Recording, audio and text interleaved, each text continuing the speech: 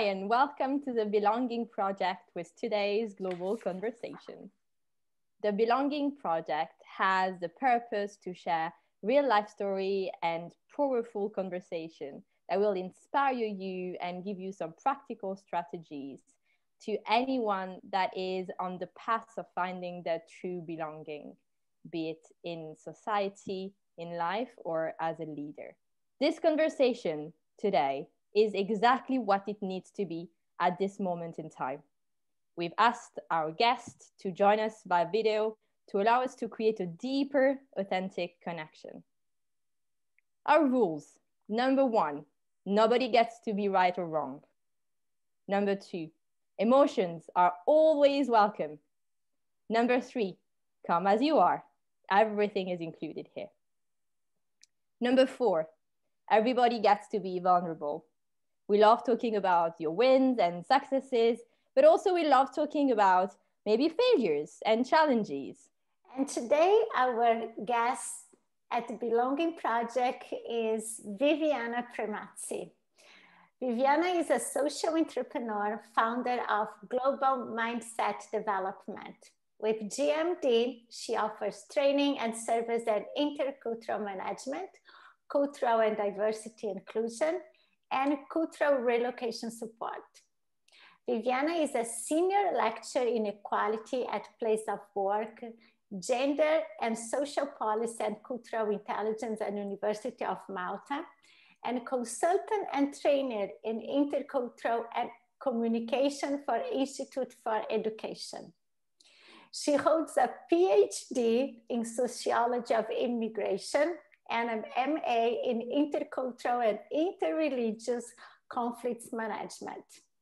Her bio doesn't fin finish here. She has a lot of more than that. And we can't wait to hear from her.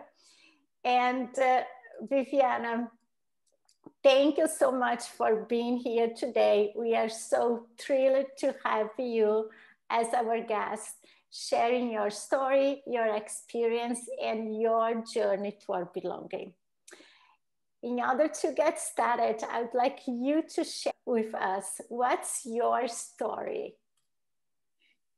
So, thank you. Thank you very much, Andrea and Fiorenza, for having me. It's really an honor to be here and to like support your project. So when I was thinking to like this question about my story, especially in the last days, I I thought about like my two lives, let's say. There is one life that was before moving to Malta. So I was born in Italy in a small town, small community. I had all my experience, my master, my PhD, I traveled.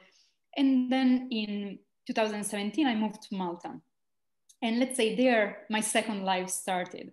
And as many, many things, in, in the dark moments, sometimes in dark moment, you find and and you you come up with like a different strategy uh, a different like new resources and a new you.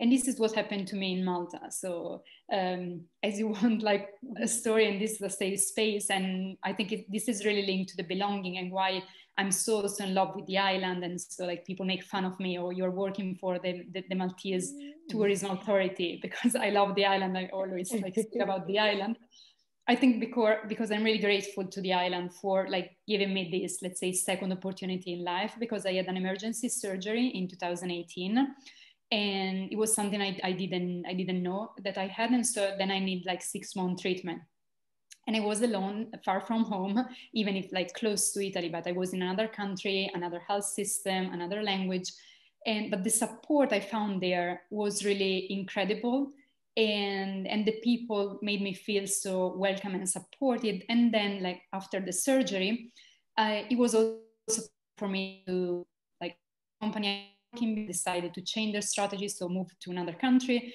And so for me it was also time to decide what i'm going to do. I'm going to stay in malta but i need to find a job or, or do something.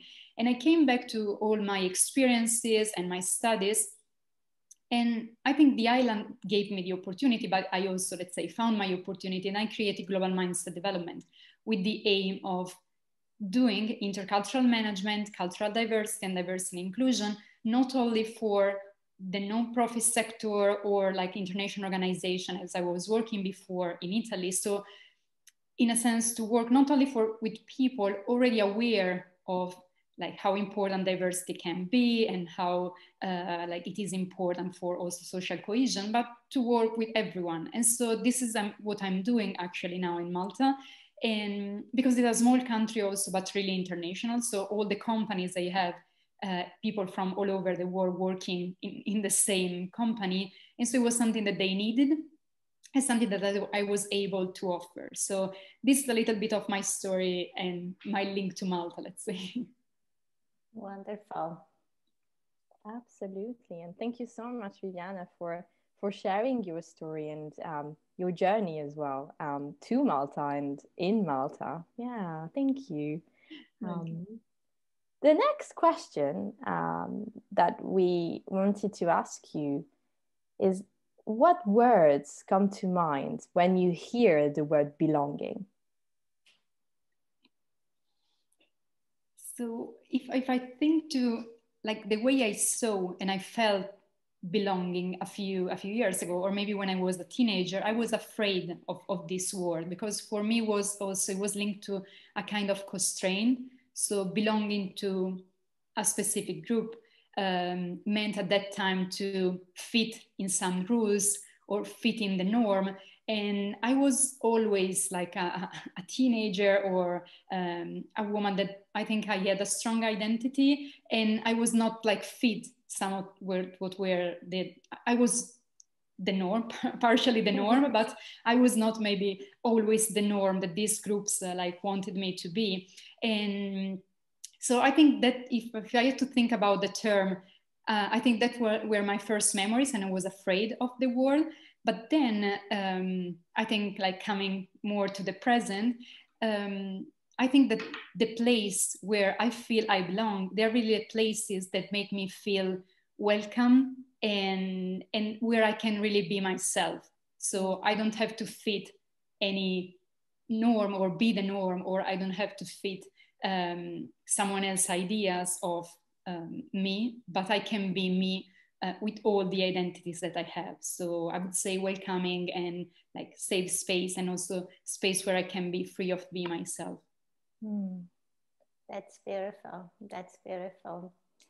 And uh, in your experience, like uh, you lived in so many countries and even working with so many people, how was this experience when you travel abroad or working in the international environment? Where do you see this belonging or not belonging working internationally? Yeah, I, I think it is really a process of discovering. And because then when you when you are abroad, you become the Italian and or you become the Italian from the north or the Italian from the south. So you actually have to face also your or the identity that someone else wants you to to show and i think the pandemic for me was really interesting and always with my partner we discuss about this sense of belonging because for me i i like grew up being i'm a, a, global citizen so my place is the world. But actually during the pandemic as the airport was closed so for six months i wasn't able to like go back to italy i felt a strong sense of belongings to my region and that specific province in my region that is like Varese, where there are the lakes. And, and so every time my, my friend were sending me a picture of like um, our lakes or what they were seeing from, from the window, for me was, oh, I really felt, let's say, deeply to belong to this, to this place. And, and I think I saw it also in a different way. I, I gave it value that maybe mm. before it was no, I'm, I don't want to come from a small community. Like I am from a small community, but then I'm, I'm living in the world, like the world is my, is my home. But no, I think that is also important. So it is important to recognize your roots, so where you come from. And it, it can be a country, it can be a region, it can be a city, so that then you can really like interact with the others, but also you are strong of where you, you where you come from and what you can also bring and then of course all the experience that you have then make you um, so i was you know andrea i was in brazil last year and I really felt that I belong in Brazil because I don't know, I went there many times. My friends were make me feel at home. So for me, it's also something that deeply then you feel there are places where you feel at home more than another place. So you feel that belong. There may be something in your characters that really like fit in in those places. And but it's a journey of discovering. It is. It is, and I totally uh, resonate with what you were saying. And there is a especially when we live for so long abroad, there is that sense that in the beginning we want to change, like we need to fit in or we try to belong to that new place. But then after the year pass, you you understand that this, and I love this quote I, I, I posted as well from Maya Angelou, that you belong to everywhere and anywhere. And at the same time, there is a part of you here that still from the place you were born and raised at, that you always be there. There is no question that you always be there. So it's, uh, it's interesting see the, you the, the phases that we go through as well in this process. And there's something else as well that you've mentioned, Viviana, and I totally resonated with. Um, you know, uh, what you said about how others see you and how others perceive or, you know, kind of assume your identity. Um, I've completely lived that. So I was born and I grew up in, in, in Paris to a very Italian family. So like to me, very early on, it was, yeah, I'm a, I'm a global citizen and, and, and that's it. Which also meant that I felt a bit, you know, in between, right? Um, at the time, I didn't know about, you know, salt culture kids, uh, kids and all that. Um, but in in France, I was never the French. I was maybe a bit the Italian, or just like, oh, uh, who are you again? Like, where are you from? Like, what's your name? Like, what's the story behind your name? Um, and then when I moved to London, um, I think when I'm yeah, when I'm um, over like at drinks or you know like uh, to a party or something, um, quite quickly you can hear my French accent or or even you're maybe hearing it now. Um, so people would just assume that I'm the French. Oh, you're the French. And so for the first time, I was the French. um, and then it's also interesting how um, people that maybe I've I've met online or just online. And so the first thing that they see is my name uh, before maybe having a conversation with me. They would say, "Oh, is he Italian?" Um, and yeah, it's it, it's you know it's just like oh wow, like now I you know I have all those perceptions, and yeah, it's um, it's interesting to you know see that and and and lead to that as well. Yeah absolutely and like before creating gmd i'm still i'm i'm work a lot with second generations in italy and, and the interesting thing what you just mentioned. So then and then in italy there is also the italian citizenship part. So sometimes even if they are born in italy they are not italian citizen or they have to wait till like 18 years old.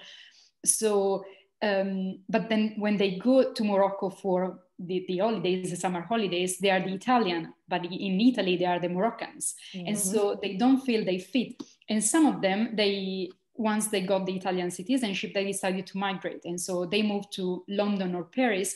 And what they found was in an international city, they could be whoever they were. So in London, they felt to be more, to belong more than in Italy or in Morocco, because it was a, for them a, a, place and a space that was like welcoming all their diversity. So being Moroccan Italian or um, what they wanted to be that's so true. When you have that international um, community sometimes you have found the first time to be whoever you want to be. Um, exactly. yeah yeah. We had another question um, for you viviana. Um, it's about the different dimensions maybe or factors that you think are important to feel like you belong Um, I think it's like something is what I mentioned before. So to belong, you need a place where you can be yourself. And, and so what I also do with my clients is to try to start with you. So what are the values of the company and what are the values of your employee? and they they are the same or maybe you forget your own values and, and the values of your employee and and so we, we try to do all this process to see if we can really create this safe space where everyone can be what they want to be. And and sometimes even for us that we work in diversity and inclusion and maybe you have also found yourself in this sometimes we want to create identities also where they are not identities. So sometimes i have this discussion with my clients because they want to create like groups like support groups. But if this process is top down maybe you're not actually understand their needs and their identities and the way they want to feel that they belong. Maybe they don't want to belong because they are women or they don't need to be supported because they are women to feel that they belong but they need something else. So it's not an easy process. And but i always suggest this process to be bottom up. So to collect what you have so the needs that you have the identities that you have so that then you create really a place that is also a reflection of your your employees your workforce and so that everyone can be and and again and come back to your values and so to match your values what then they are like your procedures your rules your practice so that the people can feel that they belong and this is say, a great place where to work because they don't have to be afraid of be what what they are who they are or what they want it to be.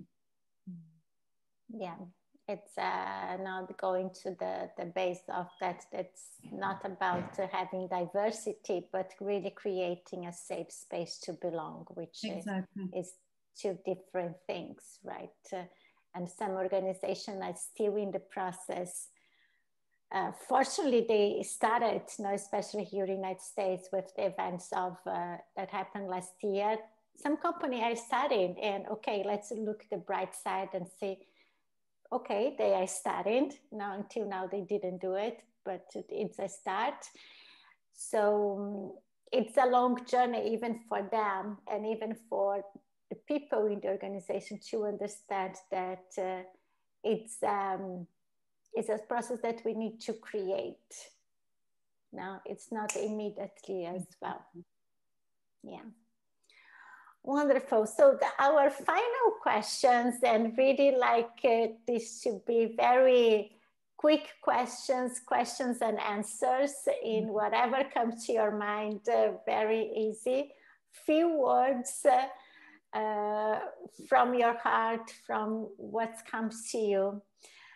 Um, so, in a few words, belonging for me is um, to be able to shine. So, with, with all your, your, your lights and what you are. So, to, to find a, a place, a space, people where you can shine. Oh, I love that.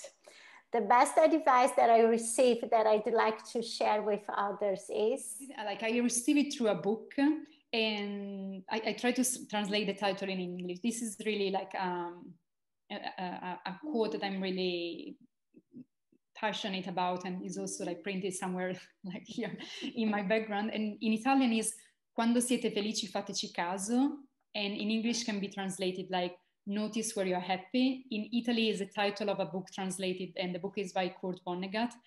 And it's like, not so life can be hard, but make sure to find something uh, so there always probably something you can be grateful. And and when you find these things to be grateful be happy and grateful. And so because these like small things and i think during covid we this was really like evident for all of us like these right. small things can really make the difference for like keep us going. Absolutely. Great great reminder. Last one. The word would be a great a better place if if we will like be able not to fear the diversity around us but to enjoy and wow. be curious. Yeah. enjoy the diversities. Love this. Love this so much. Love it so much as well. Thank you, you such an inspirational. Thank you so much for sharing for bringing such a, this shining moment here with us. Like, uh, um, it's such a wonderful experience, like hearing from you, your story, and all the work that you are doing. like I say, now the world needs more Vivianas to bring the shine to others. So thank you so much to share here with us. Thank, thank you, you, Viviana. Um, I, I, really wish you the best with this project. I, am a great supporter of the project. thank you. Thank you.